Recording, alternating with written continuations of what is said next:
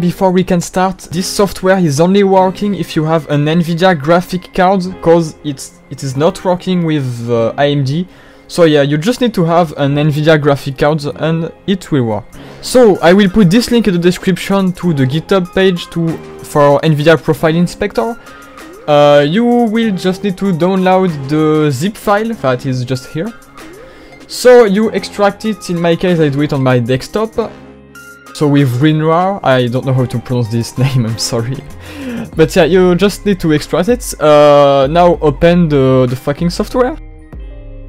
And uh, and then you have this window that appear and you will just search the name of your game, you will just type it and it will display the, the name if it work with it. So yeah, in my case it's TC2 um, and now the next thing you will uh, put the settings in. So there is a lot of different settings you can use that you can search on internet if there is optimal settings for some video games.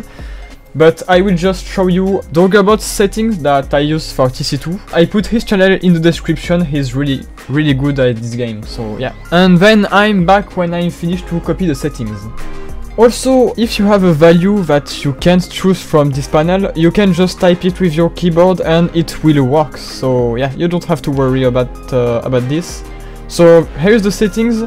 You if you want to make it work you just click to apply change. That is on the top uh, the top right of your screen. And you can launch your game and it will work. So now as you can see I have the low graphics. So yeah that's really simple to do. Um, so yeah the game is not beautiful but that's not the goal. The goal is to have more FPS and visibility.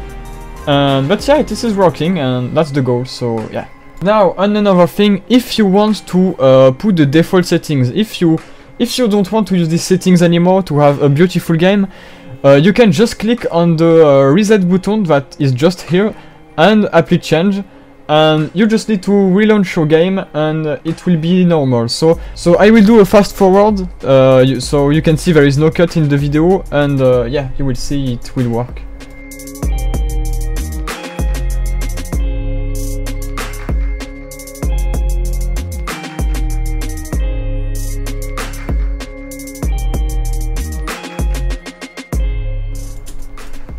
And now as you can see I have the default settings back, so yeah this is easy to remove the, the NVIDIA Inspector profile settings and that's really a good thing. So I hope the, this tutorial helps you.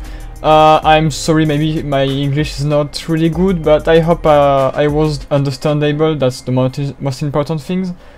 So yeah, I, I hope it helps you. Uh, I did this tutorial for the TC2 community because a lot of people asked me uh, in the community so yeah, I hope uh, this video was helpful and goodbye everyone.